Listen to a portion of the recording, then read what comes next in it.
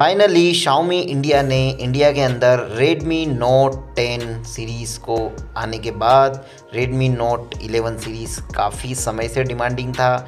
उनका पहला फ़ोन आया Redmi Note 11T 5G जिसकी काफ़ी अच्छी डिज़ाइन के साथ ये फ़ोन आया है। फ्रंट में कॉर्निंग गोरिल्ला ग्लास की प्रोटेक्शन दी गई है। याद रहे बैक साइड में अभी भी आपको बेस वेरिएंट जो इनका स्टार्टिंग होता है, उसमें आपको प्लास्टिक मिलता है, काफ़ी अच्छे प्रोसेसर के साथ आता है।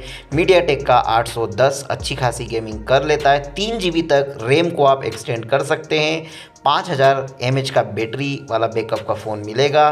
तैंतीस वोट का फास्ट चार्जिंग सपोर्ट आपको इस फ़ोन में मिलेगा। आईपीएस पैनल मिलेगा 90 हर्ट्ज़ का। साथ ही साथ 50 मेगापिक्सल का एआई कैमरा वाला आपको फीचर्स देखने को मिल जाता है। पंद्रह सोलह हज़ार में ये फ़ोन आ रहा है। काफ़ी डिसेंट है। बहुत ज़्यादा फाइव जी बैंड इस फ़ोन में मिलते हैं। वीडियो अगर आपको अच्छा लगा, वीडियो को लाइक ज़रूर करें। और हाँ चैनल पर पहली बार आए चैनल सब्सक्राइब ज़रूर कर लीजिएगा।